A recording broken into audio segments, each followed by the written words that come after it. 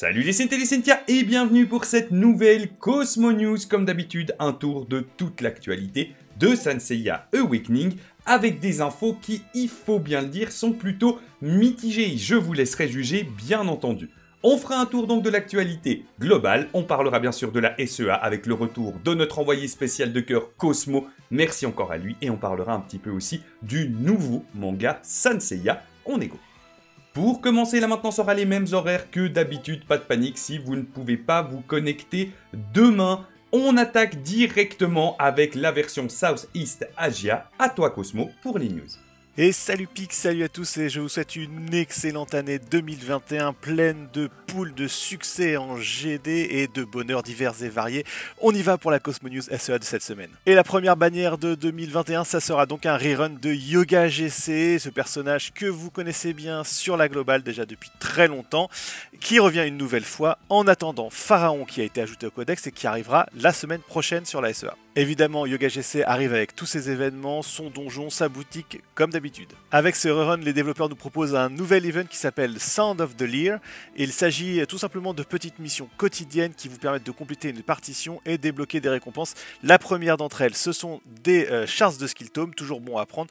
On verra par la suite pour les prochaines. Un événement qui devient vraiment récurrent sur la version SEA, c'est le Gem Emporium, cette boutique d'échange de gemmes où vous pouvez récupérer eh bien, pas mal de choses, dont des cosmos très intéressants, y compris les champs du dragon qui sont enfin arrivés il y a quelques semaines sur la version SEA, et le très récent Cosmos Run Fate. Vous pouvez aussi récupérer des fleurs, donc ne vous privez pas de dépenser vos gemmes. Et une petite roue de la fortune, ça ne fait pas de mal, avec cette fois-ci à récupérer des shards de Yoga GC et des shards de Skill Tome, parmi d'autres récompenses moins intéressantes. C'est aussi le retour de l'Inverted World, ce petit jeu d'action vu de dessus, et on sera particulièrement attentif à la récompense de la semaine, puisque j'espère qu'ils offriront des shards de Shiryu enfant, le nouveau Saint enfant qui a été ajouté récemment dans le jeu. Et si par hasard ça n'est pas Shiryu enfant qui est proposé, eh bien ce sera Iki enfant. Je pense que pas mal d'entre vous ne l'ont pas terminé, donc ce sera le moment idéal de finir ce personnage. Petite section cash player maintenant, deux événements à noter. Euh, d'abord le Kiki Scratch Card, toujours pas mal de diamants, pas mal de coupons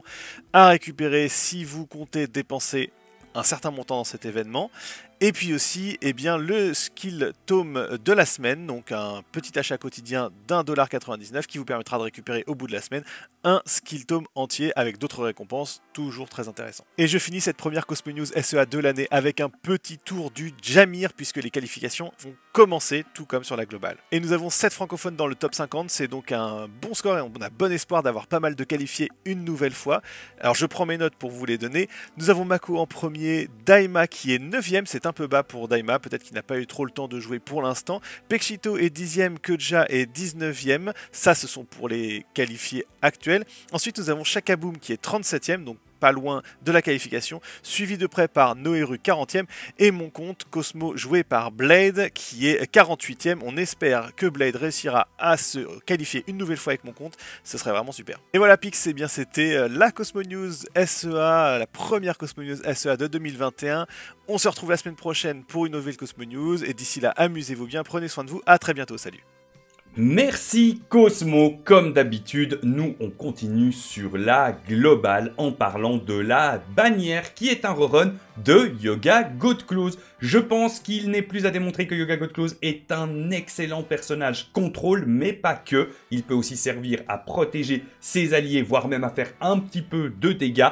Un contrôle pour un cristal très très rapide, très très joué, très très bon perso tout simplement, faites vos choix. Les prochains personnages qui devraient voir le jour, eh bien, devraient être Shijima, suivi de Milo Godclose, mais ça ne devrait pas être pour tout de suite. Je pense qu'on va avoir un petit peu de temps pour respirer, mais peut-être, bien entendu, que je me trompe. Première news de cette mise à jour en plus du Yoga God Close, eh bien c'est un nouveau Cosmo qui rejoindra la version globale comme d'habitude disponible dans un premier temps seulement dans le shop en coupon en diamant ou en gold. Il s'agit de la Butterfly Jade, de la Jade de Papillon. Un Cosmo qui va aller sur pas mal de persos qui ont besoin de statuites, puisqu'il s'agit d'un Cosmo jaune qui a du statuite, donc des chances de statut, de la vitesse, très important, et 10% de PV en 7. Un Cosmo qui va probablement assez facilement remplacer le Cosmo jaune Seiya qu'on joue d'habitude dans ces cas-là. Euh, donc voilà, je pense un très très bon Cosmo. Toujours dans la thématique des cosmos, c'est bien le cosmos scarabée va être rajouté dans le shrine le mardi et le dimanche.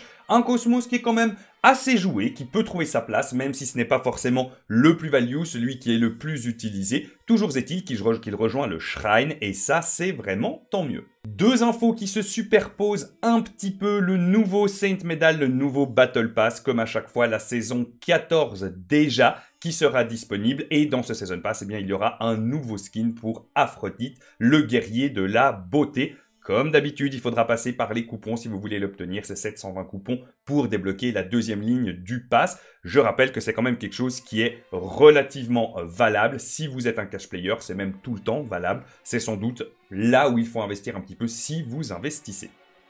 Grosse news, et oui, surtout pour les participants du Jamir, parce qu'il va falloir aller très très vite mercredi. Non, pas de RC annoncé, et ça c'est vraiment tant mieux, je pense que ce sera pour la semaine prochaine. En revanche, eh bien, en revanche, en revanche, eh bien, euh, le Wheel of the Stars saison 5 va arriver, et là il va falloir aller chercher les personnages et les EP pour ceux qui veulent vraiment être au top dès mercredi. Je vous affiche ici un petit screen, ici, à prendre avec vraiment des pincettes. Vous voyez qu'il y a déjà des différences. Il s'agit de la saison 5 du Star Wheel sur la version chinoise. Mais je le répète encore une fois, ce n'est pas dit que ce soit identique. Il y a déjà des différences entre leur version et notre version du Star Wheel, mais ça peut peut-être vous donner une idée. La dernière fois, eh bien, on avait un petit thème, hein. je crois que c'était euh, Poseidon Warrior ou quelque chose comme ça, et du coup on se disait, bah voilà, ça va certainement être les personnages liés à Poseidon. Et eh bien là, il n'y a pas d'infos, c'est juste Wheel of the Star, saison 5.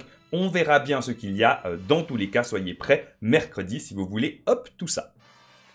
Depuis lundi, eh bien, nous avons le chat fortuné, le Lucky Cat, le Fortune Cat qui est disponible. Profitez-en, faites-vous max j'aime, c'est toujours valable. Et enfin, eh bien, dans les nouveaux events, nous aurons un Saint Medal Rebat Event.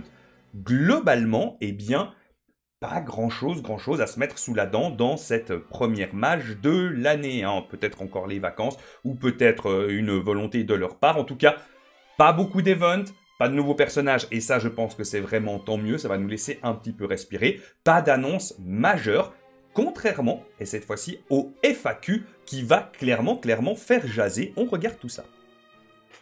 Pourquoi est-ce que les bouquets Poison Weed ne sont pas dans les boîtes avancées de fleurs Il s'agit bien entendu des fleurs pour le nouveau temple de Xion Surplis eh bien, euh, les nouveaux bouquets seront rajoutés dans les Advanced Flower Box, donc dans les box violettes à partir du 20 janvier. Encore un peu de patience. Pour l'instant, le seul moyen d'en avoir, c'était de passer par le cash shop. Euh, ça met un petit peu de temps, je pense qu'ils auraient pu les rajouter tout de suite. Mais mettons, mettons, ça, ça reste secondaire. Première info qui va faire grincer, et je pense que c'est légitime, euh, quelles sont les règles d'échange pour les Purple Divine Crystal Dust, à savoir les poussières divines violettes qui permettent d'échanger des pièces de RCSS dans la boutique ou de S à choix. Ça, ça dépend un petit peu.